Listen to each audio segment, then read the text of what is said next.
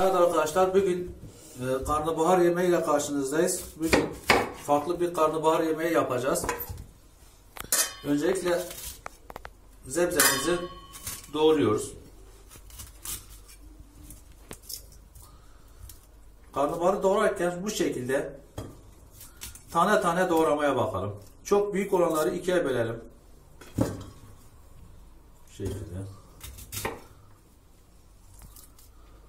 Aynen bu şekilde ağaç gibi doğradıktan sonra tenceremize alıyoruz. Tabii ki bu e, karnabahar yemeğini yağda da kızartabilirsiniz. Ben bu yemeği musakka şeklinde yapacağım. Patlıcan musakka, patates musakka yapıyoruz ya. Onun şeklinde yapacağım. Suda haşlayacağız. İsterseniz yağda kızartabilirsiniz aynı şekilde. Suda haşlarsanız daha farklı olur. Daha hafif olur.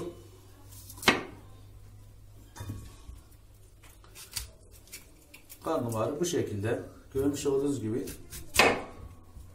doğruyoruz. Şimdi arkadaşlar karnabaharı doğrattıktan sonra üstüne su, suyu ilave ettik. Su ilave ettikten sonra bir yarım limon sıkıyoruz. Limonu sıkmanın özelliği de karnabaharı diri tutacak. içi pişmiş olacak. Yani onu dağ, dağılmayacak. Az bir şeyde tuzumuzu ilave ediyoruz. Bu şekilde kaynamaya bırakıyoruz. Şimdi karnabahar için sosunu hazırlayacağız. 2 adet orta boy soğan benim yemeğim için yeterli.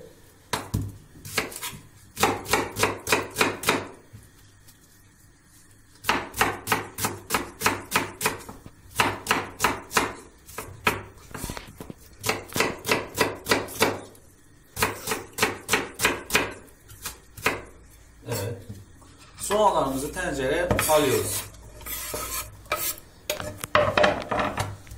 2 adet havuç jülyen bu şekilde ince ince doğruyoruz. Yani arkadaşlar yemek yapmak eğlenceli bir hale getirelim. Evde ne varsa onu çıkartıp karıştırıp pişirelim. Güzel bir yemek ortaya çıkar yani. Elinizde ne varsa yapın. Karnabahar yemeği ben bu şekilde yapıyorum. Bunu ben kenara alayım. Soğanı kavurduktan sonra ilave edeceğim.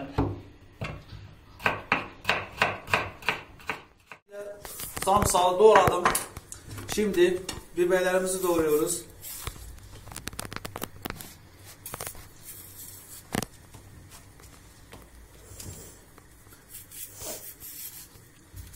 Biberi bu şekilde. Mümkün olduğu kadar soğanı, biberi, malzemesini sos için ince ince doğrayalım arkadaşlar.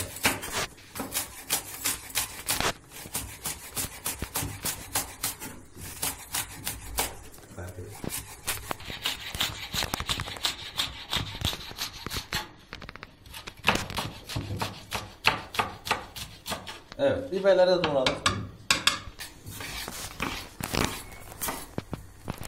Aynı şekilde domateslerimizi doğruyoruz.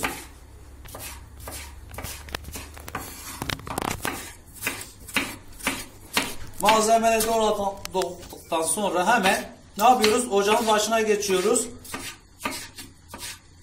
Sosumuzu hazırlayacağız. Evet şu anda ocak başındayız arkadaşlar. Soğanımızı yaklaşık 10 dakika kavurduk. Yarım fincan çiçek yağımızı ilave ettik. Zeytinyağı varsa zeytinyağı kullanabilirsiniz. Şimdi yağsız kıyma ilave ediyoruz. Yağsız kıyma arkadaşlar. Kıymamız özellikle yağsız olacak. Soğanla kıymayı beraber kavurduktan sonra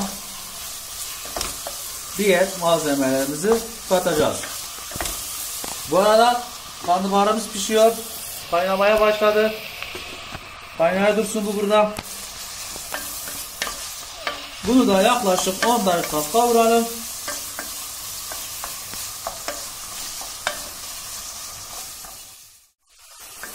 Birkaç dakika arayla kıymamız ile soğanımız kavruldu. Suyunu çekmeye yavaş yavaş başladı. Görmüş olduğunuz gibi suyu çekiyor. Hemen havuç ile sarımsaklarımızı ilave ediyoruz. Havuç biraz sert olduğu için bu arada o da biraz kavrulup erkenden pişmeye bakalım. Evet. Bunu da bu şekilde kapağını kapatıyoruz. Daha erken kavrulsun diye. Karnabaharımız burada kaynamaya devam ediyor. Evet arkadaşlar yaklaşık 15 dakika ara ile karnabaharımız pişti. Hemen size göstermek istiyorum. Denesini alıyorum. Tava aldım. Şimdi arkadaşlar görmüş olduğunuz gibi bu karnabahar çiğ gibi duruyor. Pişmemiş gibi ama içi yumuşacık. Dışı çiğ gibi ama içi yumuşacık. Bakın çatalla hemen bölünüyor. Hemen dağılıyor. Bunun e, bu şekilde olmanın sebebi de içine limon kattık. Limon onu diri tutuyor. Bu şekilde dağılmamasını önlemiş oluyoruz. Malzemelerimiz kavruldu. Hemen bir az bir şey biber salçası ilave ettim. Yarım yemek kaşığı domates salçası karıştırıyoruz. Bunları ilave ettikten sonra baharatlarımızı bir çay kaşığı kimyon, bir çay kaşığı karabiber, pul biber, ilave ediyorum.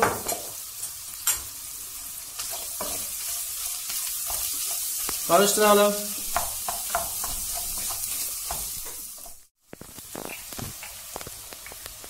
Tuzumuzu ilave ediyoruz.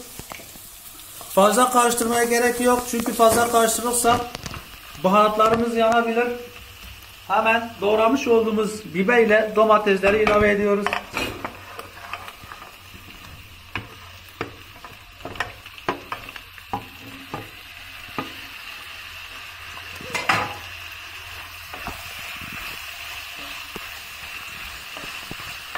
Bu şekilde 2-3 dakika sonra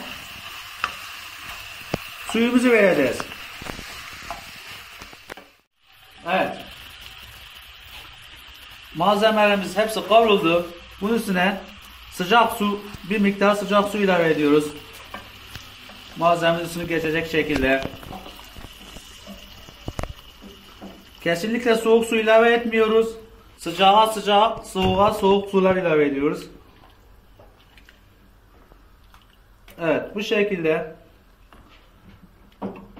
yemeğimiz kaynadıktan sonra 5 dakika sonra altını kapatıp diğer işleme geçeceğiz. Karnabaharlarımız bu şekilde pişirdik, haşladık. Tam istediğimiz kıvamı buldu. Şimdi sosumuzu hazırlamış olduğumuz sosumuzu üzerine az az ilave ediyoruz.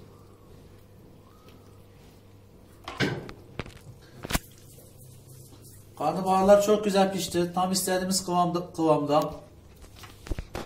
Karnabaharları bu şekilde yaparsanız farklı bir lezzet, farklı bir tat alırsınız. Yağda da kızartabilirsiniz eğer. Yağda kızartmayı seviyorsanız. Bu şekilde de güzel olur. Bütün sosumuzu üzerine gezdirip ilave edeceğiz.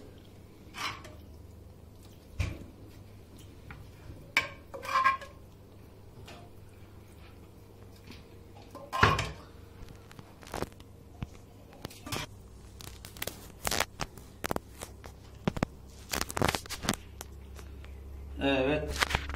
Son işlemi yapıyoruz arkadaşlar. Domates ile biberle hem süslenmiş olacağız hem daha lezzetli olmasını sağlayacağız. Bu şekilde domateslerimizi dizdik. Biberlerimizi de aynı şekilde diziyoruz.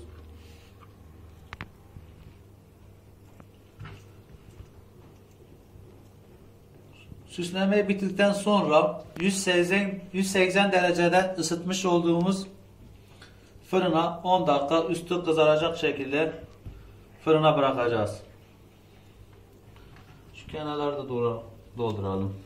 Fazla doğramışız biberleri.